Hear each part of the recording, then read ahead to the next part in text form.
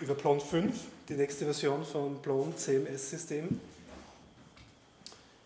Ähm, Plon, wer das nicht kennt, das ist ein Content-Management-System, basierend auf den Applikationsserver ZOAP und verwendet eine objektorientierte Datenbank, die ZODB, die ZOAP Object Database und basiert alles auf der Programmiersprache Python. Ich bin der Johannes Rackern, ich habe da auf der FH studiert und äh, bin Webdeveloper, Open Source Enthusiast, Linux User, Python Aficionado Blond Developer und verwende es seit 2004 und seit 2009 bin ich Core Contributor, das heißt, ich habe die Blown äh, äh, die äh, Contribution Agreement unterzeichnet, sodass der Code, den ich produziere, der Foundation gehört, der halt im Blown Repository liegt. Und Blue Dynamics Partner bin ich seit 2010, das ist ein österreichisches Netzwerk an Blown und ZOP ähm, Entwicklern. Wir packen das nur kurz ab für den nächsten Vortrag, dann wir. Okay. Und äh, seit 2012 bin ich im Framework-Team von Blown und bin da mit dabei beim, also bei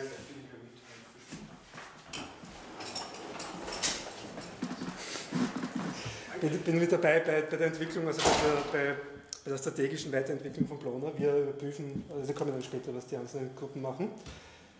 So, was ist Blona? Wie angesprochen, es ist ein Enterprise Content Management System, ein Collaboration System, weil es nämlich sehr gute Berechtigungskonzepte beinhaltet, ein Dokumentenmanagement-System auch, man kann es auch als CMS-Framework einsetzen und das, der Einsatzzweck ist recht breit und überall, wo es um Content zu publishen fürs Web geht, ist Blon eigentlich äh, recht stark dabei. Ähm, so schaut das Blon 4.0 aus. Äh, ist am Screen da oben nicht ganz so optimal zu sehen, aber das 4, also die Blon 4 Reihe ist, ist das Design so. Man sieht da diese grüne Edit-Bar das Frontend ist in dem Fall immer das Backend auch gleichzeitig. Man kann direkt im Frontend editieren und äh, die Redakteure müssen keine Abstraktion zwischen Back und Frontend mehr machen. So. Blown verwendet, wie kurz angesprochen, schon die Object Database und hat als Core-Konzept ja auch ähm, einen Inhaltsbaum, der durchtraversiert werden kann.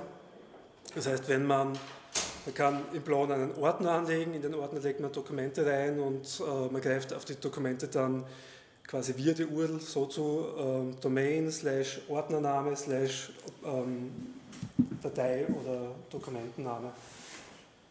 Der Security Record von Blon ist sehr gut. Es liegt vielleicht äh, nicht nur daran, dass Python eine sehr sichere Programmiersprache ist und dass Blon äh, auch, also dass es viele Konzepte der Web Vulnerability unter Blon einfach nicht greifen, weil zum Beispiel wir haben keine, keine SQL-Datenbank, da fällt das ganze SQL-Injection schon mal weg. Äh, und nicht zuletzt liegt es wahrscheinlich auch daran, dass Blon nicht besonders weit verbreitet ist und dadurch einfach aus dem Grund, im Gegensatz zu PHP, das ja wirklich sehr weit verbreitet ist, äh, uns die darauf aufsetzenden Systeme sehr wenige Security-Probleme gibt. Dann das, äh, das Permission- und Workflow-System in Plone ist sehr gut. Also man kann Berechtigungen bis auf Objektebene, bis auf einzel also einzelne Objekte, einzelne Content-Inhalte, die man publishen möchte, vergeben und noch weiter hinunter bis auf Feldebene. Das ist sehr, sehr diffizil und nach wie vor äh, ist, also das kommt, dieses Konzept kommt von ZOAP und äh, da gibt es kaum Systeme, die sich da irgendwie matchen können. Dann das UI ist äh, das Backend gleich das Frontend, was meiner Meinung nach äh, sehr, also einen guten Teil der Benutzerfreundlichkeit von Plon ausmacht. Äh, und die Plugability, das heißt die Erweiterbarkeit, ist auch sehr gut aus meiner Sicht, weil man durch bestimmte Techniken, die ZOP bereitstellt, das Ganze ganz gut, ähm, ganz gut erweitern kann. Nämlich konkret die ZOP-Komponentenarchitektur, das da in der Mitte drin steht, ermöglicht, äh, ermöglicht eine sehr gute Erweiterbarkeit auf Basis von Adaptern, die man definiert, die gegen Interfaces matchen und so. Es sind ein paar Konzepte eingeführt worden, die Python an sich nicht kennt, beispielsweise Interfaces gibt es in Python nicht. Äh, aber die ZOP Foundation hat es mit, also Anfang der 2000er Jahre mit dem Rewrite von ZOP 2 für ZOP 3 eingeführt und ähm, und ja, also manche Python-Developer schrecken unter anderem von, von dieser ZOP-Komponentenarchitektur zurück. Meiner Meinung nach ist es ein wichtiges Killer-Feature von ZOP und Plon. Und ähm, ja, dann, das basiert auf Python 2.7, da werden wir auch so schnell nicht wegkommen leider, außer wir, wir wechseln den ZOP-Unterbau durch ein anderes Framework aus. Beispielsweise denken wir da konkret an Pyramid, das ist quasi die Weiterentwicklung von ZOP von jemandem, der auch tief in der ZOP-Entwicklung drin gesteckt ist, ist. Pyramid ist ja, ein recht modernes Framework, das auch Python 3.3 unterstützt. Dann das Ganze ist in der GPL v2 lizenziert und die ZOP Objects Database ist auch eine recht feine Sache meiner Meinung nach, die manchmal auch Probleme machen kann, weil sie äh, solche Tools, die man, also weil sie nicht ganz, also die Objekte, die in der ZOP äh, Objektdatabank drinnen liegen, kann man nicht ganz einfach abfragen. Man braucht immer einen Index immer, und muss immer Queries gegen einen Katalog absetzen, damit man die Objekte rausbekommt. Außer man weiß konkret den Ort, dann kann man sie über die Python Dictionary API direkt ansprechen. Gut, dann gibt es äh, in Clone und Soap äh, richtig viel Legacy Code. Und das ist im Moment eines der Probleme. Wir versuchen das mit Clone 5 in den Griff zu kriegen und diesen Legacy Code rauszuhauen.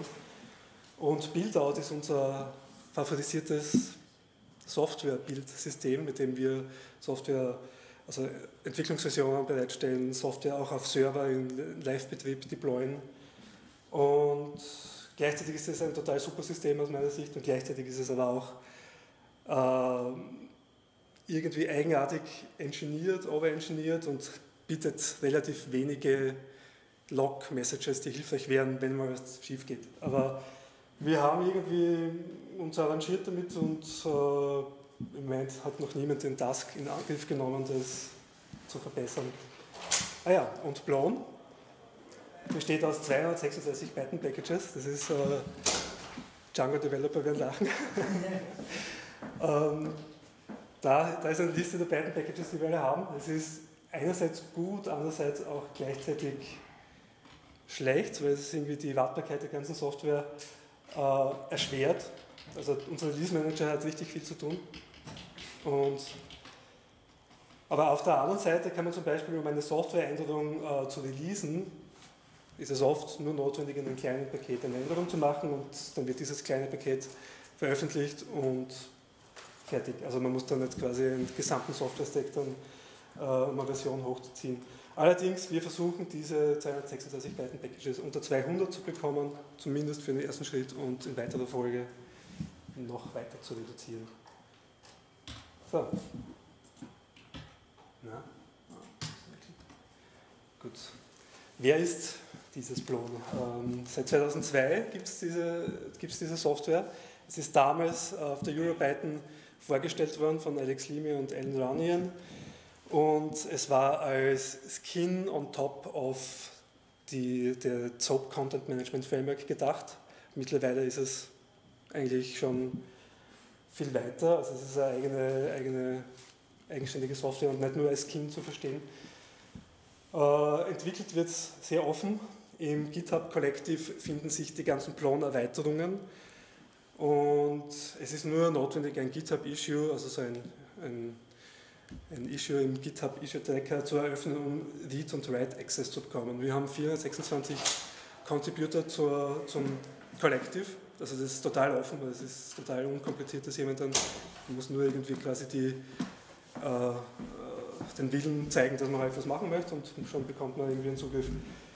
Wir haben dort über 1000 Repositories, 1200. Das hat das ist zur Folge, dass GitHub in der Standardsuche die ganzen äh, nicht durchsucht. Also keine Ahnung, es, da gibt's, GitHub hat da eigentlich schon ein paar Issues mit dieser wahnsinnigen Menge an unterschiedlichen Add-ons, die wir da drinnen liegen haben.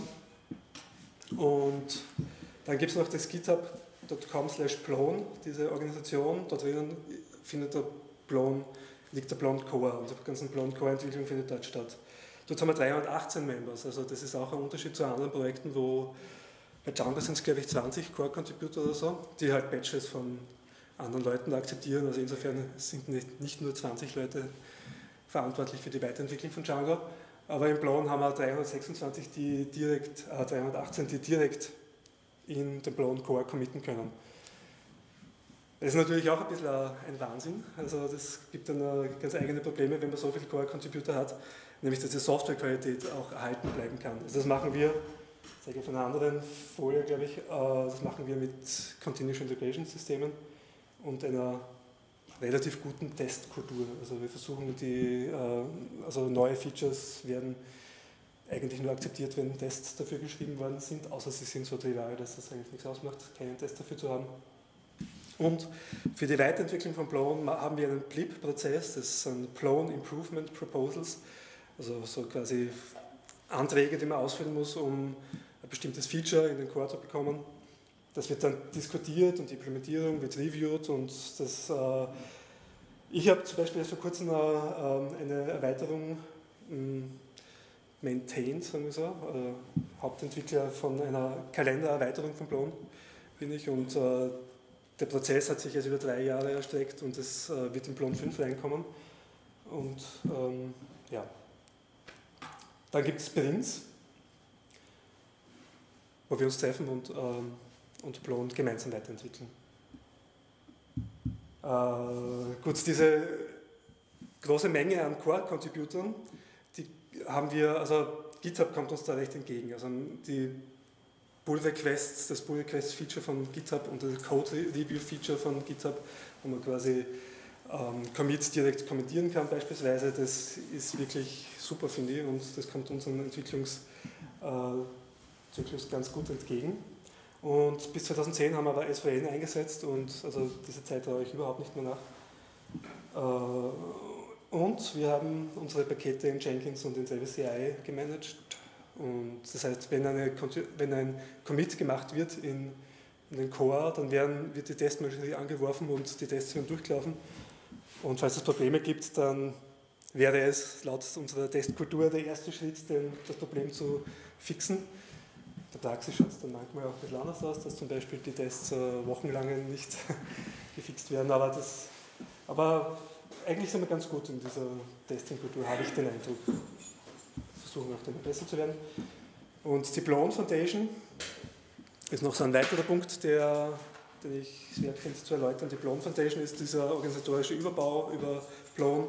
Besteht aus dem Blown Board, also dieser, die, den, den, Leuten, die halt wirklich so die strategischen Entscheidungen machen, dem Framework-Team, die die Weiterentwicklung äh, betreuen, bin ich unter anderem ein Mitglied, dann ein Testing-Team, die die ganze Testinfrastruktur maintainen, ein Documentation-Team, vor kurzem haben wir, hat es hat ein paar Sprints eigentlich gegeben und die Reihe des Sprints ist noch nicht zu Ende, wo die Dokumentation von Blauen verbessert wird. Die ist eigentlich so lala, würde ich mal sagen. Also da hat Django definitiv eine viel bessere Dokumentation, da können wir uns einiges davon abschauen. Aber das wird besser, wir werden auch die unterschiedlichen Versionen in unterschiedlichen Dokumentationen, also in unterschiedlichen Clone-Versionen, in unterschiedlichen Dokumentationsversionen aufteilen und so gibt ein User Interface Team und ein Accessibility Team. Blown hat recht gute Werte bezüglich, also recht gute, ähm, Blown ist recht gut in dieser Accessibility, weil Blown gerne im Governmental, Governmental Bereich eingesetzt wird und dort ist es notwendig, dass man äh, ähm, Accessibility, Kompatibilität einen gewissen Standard beiträgt. So. Wie ich kurz angesprochen habe, es kommen nur ein paar Bilder, um das kurz aufzulockern. Also es gibt Sprints, das war vor kurzem der Sprint in München, Wein- und Biersprint haben wir den genannt. Und ähm, gleichzeitig hat er in Südafrika stattgefunden, das war quasi der Weinsprint in München der Biersprint. Wir haben uns ca. 20, 25 Entwickler haben sich da getroffen und äh, an Plan 5 gearbeitet. Das ist ein Sprint, der eine Woche zuvor in Seattle stattgefunden hat, da war ich nicht dabei. Ähm, der Emerald Sprint. Da ein Gruppenfoto von Emerald, Emerald Sprint. Das ist ein Gruppenfoto vom äh, Cathedral Sprint, der im Februar in Köln war. Und hier ein Sprint aus dem Jahr 2003, wollte ich auch noch reintun, weil das war aber vor meiner Zeit vom Blog. Gut. Und bevor wir zu den Features von Blon 5 kommen, möchte ich noch im äh, Durchlauf zeigen, wo Blon überall eingesetzt wird. Also da sieht man mal einen Screenshot von der Blon, von der äh, Blon Website, blon.org Website. Das ist die Free Software Foundation, die auch äh, Blon einsetzt in ihrem CMS-System. Die NASA Science Seite ist auch mit Blon umgesetzt. Dann die Amnesty International, also International Schweiz Seite ist eine Blon-Seite. Und ein großer Blon-Kunde aus Österreich oder Blon-Anwender in Österreich ist die NÖKU, die Niederösterreichische Kultur, Niederösterreichische Kulturgesellschaft. Und das Donau-Festival sowie alle anderen Festivalseiten und Kultureinrichtungsseiten sind mit Blon umgesetzt. Dann in Graz gibt es die HTU Graz, das ist ein Projekt, das äh, auch in Blon läuft. Der Fehler da, den man da sieht, der ja. ist deswegen, weil ich JavaScript ausgesetzt habe, das ist, eine, das ist eigentlich äh, ein iFrame und ich habe da einfach JavaScript deaktiviert, damit er nicht allzu viel geladen wird. Und das ist die Radio Helsinki-Seite, die ich gemeinsam mit dem Nene umgesetzt habe. Das ist eine Plone-Seite und Django-Seite. Also da sieht man ein Plone-Interface. Also das ist da also Plone und die Inhalte auf der Seite, die vom Programm kommen, sind alle in Django umgesetzt. Wenn ich jetzt auf Programm klicke und vielleicht im Programm lande, ja, das, das ist jetzt alles Django. Und diesen Übergang merkt man überhaupt nicht. Das ist, äh, haben wir mit einer ziemlich coolen Technologie umgesetzt die, äh, so eine Filming Engine, die vor, dieser ganzen, vor diesem ganzen Stack steckt. Und MuAD ist auch eine Plon-Seite, aber Plon 1. irgendwas. Das wird ja, glaube ich, ersetzt. Ja, ja, glaube ich auch. MuAD war einer der äh, frühen Plon-Anwender in Graz und haben sich aber mittlerweile völlig davon verabschiedet, weil das, die Maintenance von Blown ist jetzt aufwendiger als WordPress beispielsweise. Und ich glaube, die haben sich jetzt auf WordPress irgendwie geeinigt. Und WordPress, obwohl es in PHP ist und etc., man kann, also ich könnte jetzt lange Kritiken von mir lassen, aber äh, WordPress ist einfach einfach zu installieren, benutzerfreundlich, einfach zu maintainen und ich glaube, das Optimale für MuAD. Aber MuAD hat eine Zeit lang Plon gepusht. Ja. So, und jetzt Plon 5. Das ist äh, das anstehende Release, das hoffentlich heuer noch erscheint. Also bei jedem der letzten Sprints, bei denen ich dabei war, hat sich das Ziel eigentlich nach hinten verschoben, weil wir Dinge gefunden haben, die wir noch unbedingt ändern müssen. Und beim letzten Sprint habe ich diese Blown-Up-Event-Erweiterung, von der ich kurz erzählt habe, äh, komplett refactored, obwohl das jetzt nicht wirklich notwendig gewesen wäre. Aber eigentlich hat es noch ein paar architektonische Fehler drinnen gehabt, die wir so im Plan eigentlich ja nicht drinnen haben möchten, im Plan 5. Und, aber es wird super. Also, es gibt ein neues Content Type Framework, das Plan Up Content Types. Das ersetzt ein, äh, ein altes äh, Framework, das auf Archetypes basiert. Das sind jetzt ein paar so Buzzwords. Archetypes ist einfach ein Framework, das Java-esque funktioniert hat aus meiner Sicht. Es war gut und alles Mögliche, ist noch immer nicht schlecht und kann Marketing sogar besser als das ähm, Content-Typ Framework Dexterity, auf dem dieses neue Blown-Up Content Types basiert. Ähm, allerdings, es ist alt, langsam, schwer zu entwickeln, dafür inkonsistente API und etc. Und das Neue ist Pythonic. Also es hat, äh, ähm, kann man einfacher damit entwickeln und ähm, eine bessere API, schneller, schlanker und besser. Gut. Das nächste ist das Kalender-Framework, Plone Up Events. Damit kommen Zeitzonen äh, in Plone, die bis jetzt in dieser Art noch nicht gegeben hat. Also es ist schon alles, also jedes Datumsobjekt hat zwar eine quasi Zeitzone, eine, ein Offset von Greenwich Main Time gehabt, aber wirkliche Zeitzonen wie Europe, Vienna oder Barcelona oder sonst irgendwas hat es noch nicht gegeben, das ist neu. Dann gibt es Recurring Events, basierend auf den iCalendar-Standard und mit ziemlich umfangreichen, aus meiner Sicht, äh, äh, besseren Möglichkeiten, als es Google Kalender zum Beispiel bietet. Weil, also zumindest das Kalender-Widget, das Recurring-Widget im Google Kalender, so wie es ich kenne von einem Jahr, äh, erlaubt einen die Definition von relativ einfachen Recurring Events. Auf der anderen Seite kommt man eigentlich auch auf Google Kalender dorthin, was man mit Blown-Up Event machen kann und eigentlich noch viel mehr. Also ich möchte mir jetzt nicht herausnehmen, dass ich das jetzt vielleicht wirklich mit dem Kalender vergleiche von Google. Aber äh, die iCalendar Export ist verbessert worden im Gegensatz zum alten Kalender-Tool. Dann, es gibt einen iCalendar Import, das hat es bis jetzt noch nicht gegeben. Und als Add-on gibt es auch CalDAV. Ja, ähm, das ist aber noch ein bisschen in den Kinderschuhen, das CalDAV, aber aus meiner Sicht eine sehr spannende Erweiterung für Blown-Up Events. Und das ist genauso wie dieses vorige, äh, die vorige Erweiterung Clone Content Tabs bereits in aktuellen, stabilen Clone-Versionen verwendbar. Dann haben wir ein neues JavaScript Development Environment, das wir Mockup nennen. Und das ermöglicht die Entwicklung von JavaScript und CSS ohne Plone und Python. Äh, das heißt, wenn ein Frontend-Entwickler jetzt eine Erweiterung oder eine Verbesserung für das äh, Frontend von Plone und die JavaScript machen möchte, dann muss er diesen ganzen Plone und Python Stack nicht installieren, sondern kann direkt mit einem äh, Grant und Power gemanagten modernen JavaScript-Framework arbeiten. Weite Teile sind völlig generisch und könnten theoretisch auch für andere Frameworks, andere Projekte eingesetzt werden. Äh, das basiert auf der Pattern Sleep, beziehungsweise ist eine Abspaltung von der Pattern Sleep und die Pattern Sleep war etwas, ähm, kennt jemand von die Web Components, bevor ich da weiter ausführe?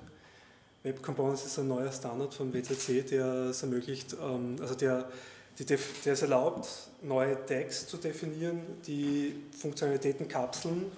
Zum Beispiel kann man einen Kalender-Tag machen, der dann einen Kalender-Widget anzeigt und dieser Kalender-Tag kapselt intern JavaScript, CSS und Markup. Das nennt sich dann Shadow, Shadow DOM, DOM. Also ein DOM-Tree, der versteckt wird vom, ähm, von der nächsthöheren Ebene. Und Pattern Sleep ist so etwas ähnliches, allerdings ist er schon ein bisschen älter und würde man erst damit anfangen, würde ich eigentlich dafür plädieren, dass wir Web Components einsetzen, weil das kann man bereits verwenden. Aber es ist Pattern Sleep und diesen Task, also diesen Task zum Switchen auf Web Components, den verschieben wir mal auf eine der nächsten Versionen. Ja, Require.js ist dabei, dann haben wir endlich mal JavaScript getestet, das war bis jetzt auch nicht wirklich der Fall. Höchstens implizit über über, über, über diese Robot-Framework und äh, Tests. Und das Ganze basiert auf Bootstrap 3. Und das Paket, na, falsch, das Paket Blown-Up Widgets inkludiert diese, ähm, diese Mockup-Bibliothek mit, ähm, mit all den neuen JavaScripts und äh, diesen Form-Input-Fields, die äh, in aktuelle Clone-Versionen Blown-Up Widgets basiert auf Mockup und Bootstrap. Da gibt es ein neues Theme, das heißt Barceloneta. Verwendet moderne Webtechnologien und Bootstrap 3, basiert auch auf Mockup. Und dann gibt es noch eben eine Anstrengung, den Legacy Code aus dem Blauen rauszuhauen. Wir ja, es gibt echt einen Haufen Dinge, die seit Jahren nicht mehr angegeben worden sind, aber die funktionieren und für die Backwards-Kompatibilität wichtig waren. Aber das möchten wir eigentlich loswerden. Das wird man dann optional installieren können, wenn man das wirklich braucht. Also da kommt wieder dieses Package-Konzept von Python uns sehr entgegen, dass wir diese Funktionen einfach rauslagern in ein anderes Package, die man dann, wenn man es wirklich benötigt, noch dazu installieren kann. Dann gibt es eine CSRF Protection, die wir bis jetzt eigentlich so in der Art noch nicht gehabt haben. Ähm, ja. Und eine neue Multilingual-Lösung und eine neue Template-Engine, die wir inkludieren, die zwar kompatibel ist zu dem Templating-Standard, den wir verwenden, aber die Templates werden hier kompiliert und es ist alles schneller und etc. Also und so wird das neue Clone ausschauen, nach aktuellem Entwicklungsstand. Das ist noch nicht ganz abgeschlossen, es müssen noch Usability-Tests durchgeführt werden und, jetzt, und so, aber Ungefähr so wird das Plan 5 herkommen, wahrscheinlich. Und das ist ein Mockup von einer überarbeiteten ähm, Seiteneinstellungsseite. Das ist der nicht aus und so. Ja. Und die Herausforderungen, die wir jetzt mit Plon 5 noch zu bewältigen haben, sind, es gibt noch einen Haufen offene To-Dos und die Entwicklung von Plon findet hauptsächlich bei diesen Entwicklersprints statt. Und es kommt darauf an, wie viele dieser Sprints es gibt, wie die Leute Zeit haben. Dementsprechend gibt es größere oder kleinere Entwicklungssprünge. Und es gibt dann einige offene Issues, die in einem Issue, in einem Ticket auf, ähm, auf, der, auf GitHub äh, gemanagt sind, wenn man das lesen kann. Diese Präsentation ist dann auch im Netz verfügbar. Ich kann das dann euch noch den Link geben und zeigen. Dann, ja, natürlich ist es wichtig, Entwickler zu haben. Und eigentlich haben wir eh recht viele Entwickler und das passiert auch einiges, aber gerade das Frontend ist etwas, was die Bloncore Contributor, sind meistens Python-Entwickler, eher so, ähm, also bei vielen liegt halt nicht unbedingt die Stärke darin. Und durch die Abstraktion vom Frontend, durch, das, durch Mockup, äh, glaube ich, dass es da möglich ist, auch Entwickler an Bord zu bringen, die mit Blon und Python gar nichts am Hut haben. Also JavaScript Frontend Developer finde ich ein recht, recht gutes Feature von Mockup. Dann gibt es aktuell einen Webparadigmen Shift, also es wandert immer mehr in das Frontend, immer weniger im Backend mit äh, dieser ganzen Node.js-Revolution, den ganzen JavaScript-Frameworks, die auftauchen. Und unsere Antwort darauf ist, dass wir eine JSON-API brauchen. Also wir haben keine standardisierte JSON-API, die in den Core drin wäre. Es gibt Add-on-Packages, die äh, Inhalte per JSON bereitstellen, beziehungsweise auch ähm, per JSON und REST-Schnittstellen Plon über Web-Services ansteuern lassen. Aber das gibt es nicht in, im Core und so brauchen wir, damit, damit wir ähm, quasi wirklich das Frontend vom Backend trennen und es dann auch egal wird, wo die Daten gehalten werden. Ja. Das ist jetzt die vorletzte Folie. Wer Plon verwenden möchte, das ist nicht besonders schwierig. Also man checkt sich das äh, äh, ein Build-out aus. Wer Plon in der stabilen Version verwenden möchte, würde ich vorschlagen, diesen ersten Link zu verwenden, github.com slash collective slash minimal plone. Das ist eine ganz einfache Build-out-Konfiguration. Und wer Plon 5 verwenden möchte, den zweiten Link.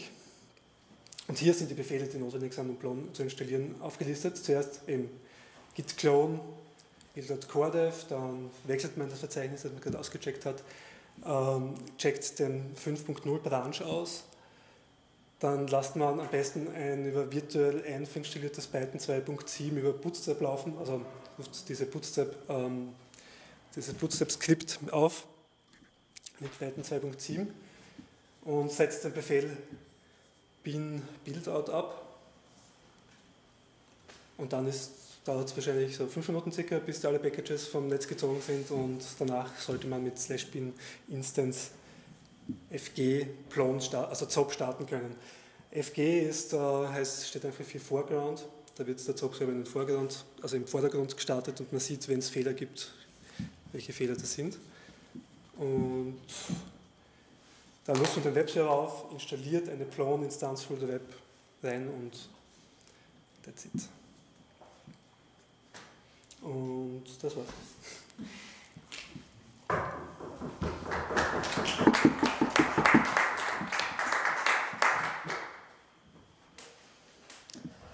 Gibt es Fragen?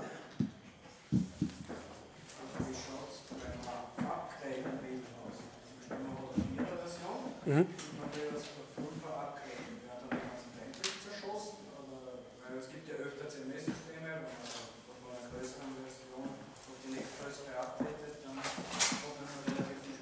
Ja. Also die Upgrades innerhalb einer meiner Version von Blon 4.2 auf 3 beispielsweise sind relativ unproblematisch, was das betrifft, aber Blon 5 hat schon eine ganz andere äh, Template- und Layout-Struktur.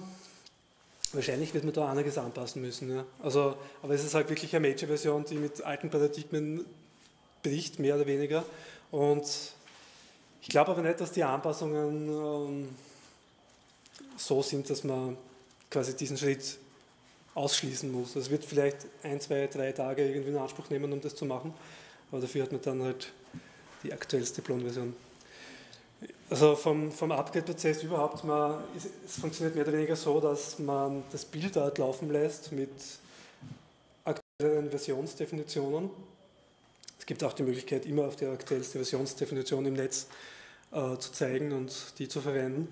Und dann hat man mal die aktuellste Software, dann muss man eigentlich noch im Backend einen Upgrade-Step anwerfen oder the Web einen Upgrade-Step, um äh, bestimmte Einstellungen mit äh, äh, zu ändern. Das wäre quasi dieser analoge Datenbank-Upgrade. Und, ja, und eventuell eben noch, wenn sich im Code wirklich so etwas fundamental geändert hat, dann muss man halt die eigenen Erweiterungen anpassen.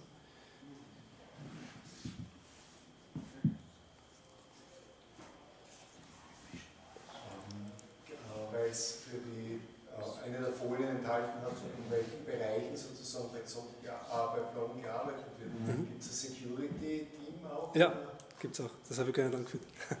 ja, das gibt es und das funktioniert so, dass die ähm, Security-Audits regelmäßig machen. Also die machen Code-Checks und ähm, finden dann eigentlich Probleme, bevor sie online gehen. Genau, bevor sie online gehen. Und dann werden die Fixes bereitgestellt, es wird der Termin genannt, wann dieser Fix veröffentlicht wird. Und dann gibt es einen Haufen Entwickler, die darauf warten, dass, dass das dann veröffentlicht wird und äh, aktualisieren ihre Blon-Instanzen dann. Also das ist ungefähr der Prozess. Ja. Wie lange ist da die Embargo-Zeit? Die Embargo-Zeit meinst von... Von Entdeckung bis man es dann wirklich ausrollt? Äh, zumindest von der Ankündigung bis zum Ausrollen dauert eine bis zwei Wochen. Also es wird zwei Wochen vorher angekündigt, dass was passieren wird beziehungsweise manchmal einen Monat vorher, aber ohne genauen, also nur mit einem Hinweis. Und ähm, also ich kann das nicht sagen, wie lange das von der Entdeckung bis, bis zum Ausrollen Zeit vergeht, aber es wird zumindest regelmäßig, ich glaube viermal im Jahr mindestens gemacht.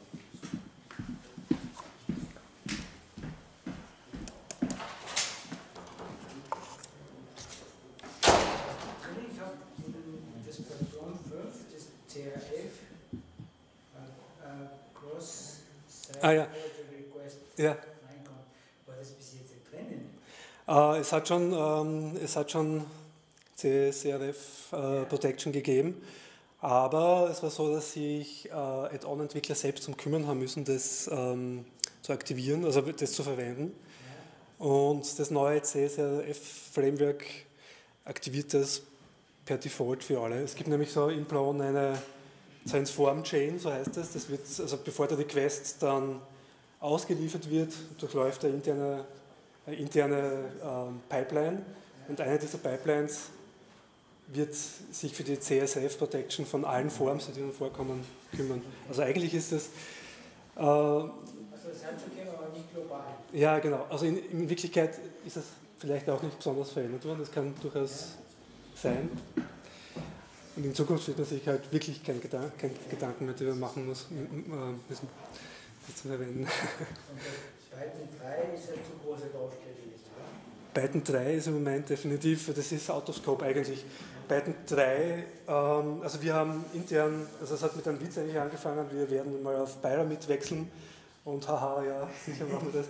Und, äh, und also in Wirklichkeit ist im Moment der Konsens, dass wir das wirklich mal machen werden. Also das wird aber sicher auch nicht ganz schnell passieren. Unsere Hoffnung ist da ein bisschen mit, einem, mit Abstraktionslayern zu arbeiten, dass wir nicht mehr auf ZOP direkt Dependencies haben, sondern auf einen Zwischenlayer und dann quasi ZOP mit Pyramid austauschen können. Aber das ist sicher viel alles. Hm? Äh, Die Version von ZOP, die wir einsetzen, nicht, nein. Das ist, die geht nicht mit Python 3. Django geht, oder?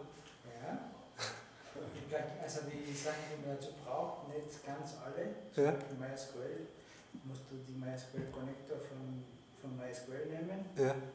Für Also für die Image Library, musst du diese PILO nehmen und für andere Sachen. Ich glaube, PostgreSQL ist eh schon portiert auf mhm. Es gibt schon was, aber es, ist, es hängt an den Packages, die man benutzt. Mhm. Mhm. Aber Python zum Django geht jetzt mit Python 3. Mhm. Viele der Plon-Entwickler verwenden auch Pyramids, insofern wäre der Schritt eigentlich nur logisch, das einmal auch für Plon selbst zu verwenden. Mhm. Weil die Konzepte sind großteils recht ähnlich. Ja. Also das war bei Django auch so ein großer Prozess, wie man bis man irgendwann. Ja. Also okay, jetzt ist nicht mehr Testversion, sondern wirklich kann eingesetzt werden. Mhm. Das wäre total wichtig für das Python 3 Projekt. Also es hat vor kurzem eine Diskussion gegeben, was ausgeschaut, also wo halt sehr einige Leute zu Wort gemeldet haben, die wichtig sind in der Community, in der Python Community, die dem ganzen Python 3 Projekt keine große Zukunft mehr vorausgesagt haben. Aber ich glaube schon, dass Python 3 eigentlich der Weg sein sollte, der, der man weitergehen sollte. Okay. Ja, falls jemand da Hilfe braucht mit Installieren, ich mache das gern, können wir schnell überschauen. Es geht auch recht schnell. Gut, danke.